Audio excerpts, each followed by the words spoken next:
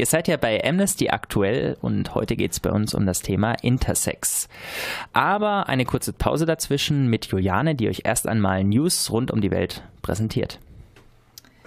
Amnesty News Südsudan. Seit Ausbruch des bewaffneten Konflikts 2013 grassiert sexualisierte Gewalt gegen Frauen und Mädchen. Auf diese massiven Menschenrechtsverletzungen machte Amnesty International anlässlich des Internationalen Tags zur Beseitigung von Gewalt gegen Frauen am 25. November aufmerksam. Im Bericht Do Not Remain Silent, Survivors of Sexual Violence in South Sudan Call for Justice and Reparations dokumentiert Amnesty International in Kooperation mit zehn südsudanesischen Menschenrechtsverteidigerinnen die von der Regierungsarmee wie Oppositionsgruppen gleichermaßen verübte Gewalt. Interviewt wurden 168 Betroffene von sexualisierter Gewalt, darunter auch 16 Männer, in unterschiedlichen Regionen des Südsudans sowie in Flüchtlingslagern in Norduganda. Einer Untersuchung des Bevölkerungsfonds der Vereinten Nationen zufolge waren 2015 bereits 72 Prozent der in Lagern nahe der Hauptstadt Juba lebenden Frauen vergewaltigt worden Motono Wanyeki, Leiter des Ostafrika-Programms von Amnesty International, konstatiert, dass es sich hierbei um geplante, massive sexualisierte Gewalt handelt. Frauen wurden von mehreren Männern vergewaltigt, mit Stöcken missbraucht und mit Messern verstümmelt. Eine der Frauen berichtete Amnesty International, dass sie nun HIV-positiv sei. Andere Frauen leiden unter Fisteln und Inkontinenz. Einige der vergewaltigten Männer wurden infolge der Übergriffe impotent. Viele Überlebende leiden unter Albträumen, Erinnerungslücken, Konzentrationsstörungen und Selbstmordgedanken, typische Symptome einer posttraumatischen Belastungsstörung. Wanjeki berichtet, dass die Betroffenen ein Leben lang unter den körperlichen und psychischen Folgen dieser Menschenrechtsverletzungen leiden werden.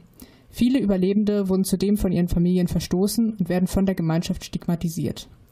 Die Übergriffe finden bei Angriffen auf Dörfer, entlang von Straßen, nach Entführungen oder in Haft statt. Betroffen sind auch ältere Frauen, Mädchen und Schwangere. Die Behörden versagen dabei, die Bevölkerung zu schützen, die Gewalt zu untersuchen und die Täter zur Rechenschaft zu ziehen. Die Gründe hierfür sind fehlende Ressourcen in der Justiz sowie das Fehlen eines klaren politischen Bekenntnisses zur Verfolgung sexualisierter Gewalt. Die Betroffenen benötigen Hilfe, um ihre körperliche und psychische Gesundheit wiederzuerlangen. Die medizinische Versorgung ist jedoch mangelhaft. Gerade in ländlichen Regionen ist die nächste Gesundheitseinrichtung oft weit entfernt und der Weg dorthin unsicher. Auch das Stigma, von sexualisierter Gewalt betroffen zu sein, hindert die Menschen daran, sich Hilfe zu suchen. Libyen.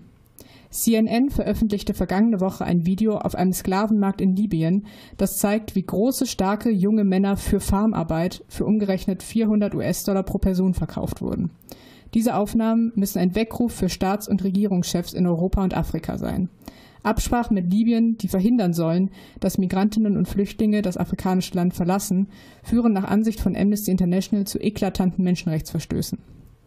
Am 29. und 30. November fand in Abidjan in der Elfenbeinküste das fünfte Gipfeltreffen zwischen der Afrikanischen Union und der Europäischen Union statt.